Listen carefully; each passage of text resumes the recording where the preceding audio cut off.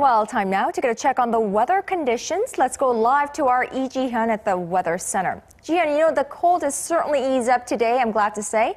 And the skies were clear enough to enjoy the last days of winter without too much of a chill. That is right, Ganyang. It was a sunny day today and temperatures were bearable. But a mix of rain and snow is in the forecast for many areas down south tomorrow with up to 5 centimeters of snow expected in the southern provinces till tomorrow evening. And we could also see some fine dust sweep in overnight. Dust levels could be fairly high in most parts of the country, including here in the capital at times. So those of you with respiratory problems, you'll want to check the pollution levels before heading out tomorrow. As for the temperatures, it's going to be a bit warmer tomorrow morning with a daily low kicking off at minus 2 degrees Celsius here in Seoul which is about 4 degrees higher than today.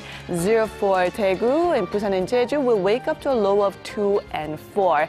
And as for the daily highs, it's going to be similar to a tad lower compared to today, topping out at 6 degrees Celsius here in Seoul, 7 for Daejeon and Gwangju, while Busan and Jeju will see a high of 10 and 12 respectively.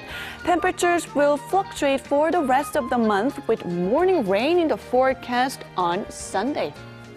Now that's Korea for you, and here's a look at the weather conditions around the world.